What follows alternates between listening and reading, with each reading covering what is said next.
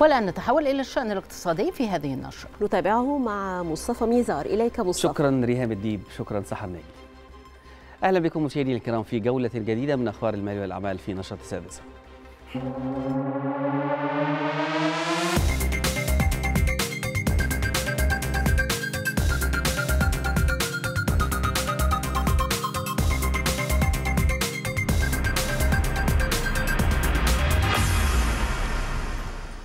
بدأت منافذ وزارة التموين والتجارة الداخلية صرف السلع التموينية عن شهر أكتوبر متضمنة الزيادة الاستثنائية للفئات الأولى بالرعاية من أصحاب البطاقات التموينية والتي أقرها الرئيس عبد الفتاح السيسي للأسر الأولى بالرعاية. نتابع.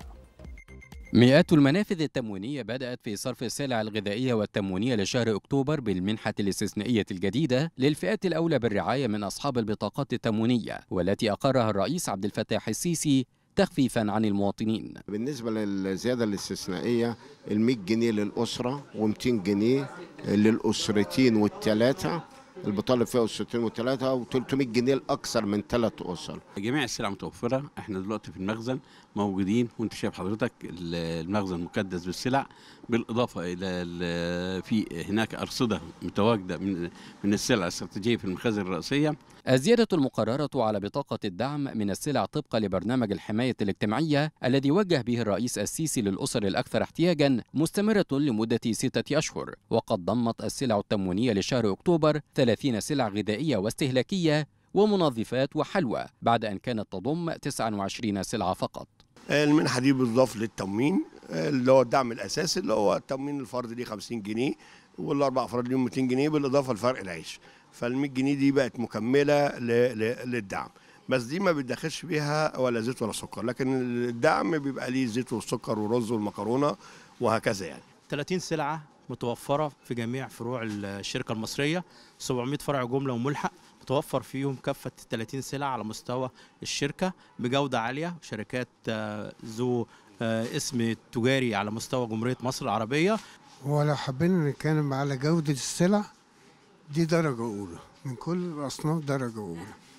بالنسبة لأسعارها الأسعار اللي موجودة في التموين بتطبق على منتجات التموين.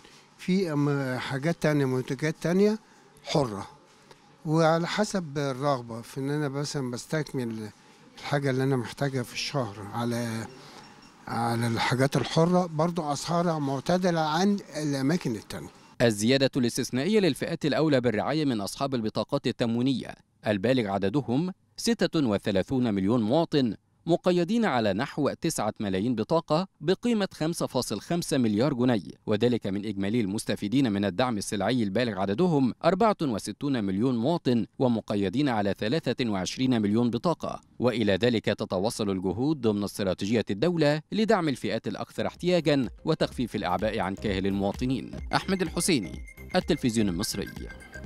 شهدت وزيرة التخطيط والتنمية الاقتصادية هالة السعيد إطلاق الإصدار السادس لتقرير التنمية العربية تحت عنوان النمو الاقتصادي العربي في ظل الأزمات.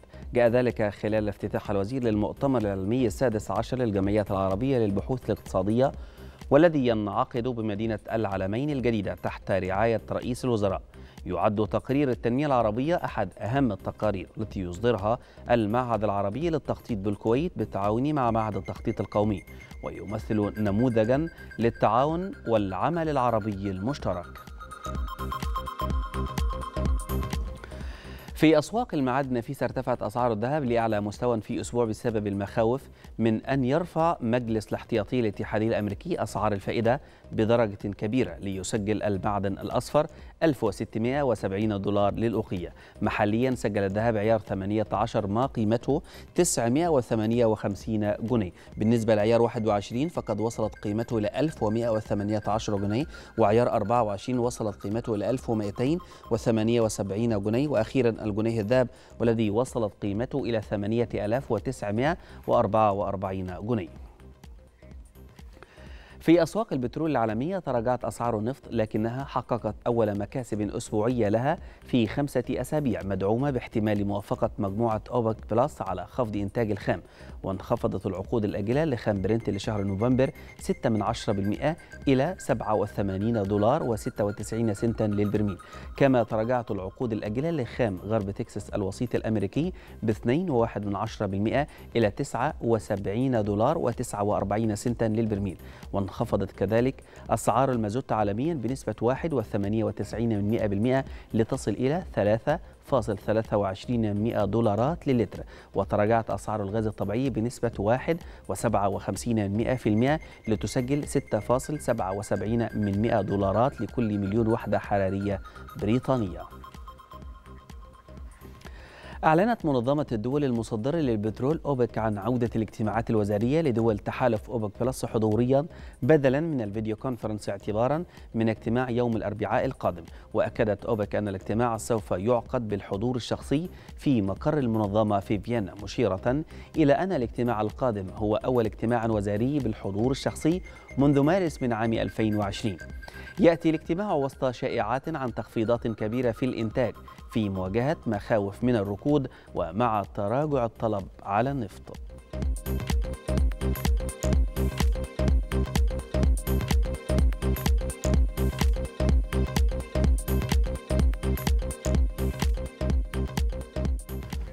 وصلنا معكم إلى نهاية هذه الجولة في أخبار المال والأعمال. شكرا لكم.